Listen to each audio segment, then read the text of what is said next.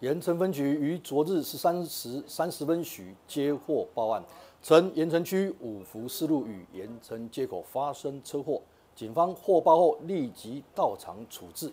经了解，蔡姓男子驾驶一部工程车沿五福四路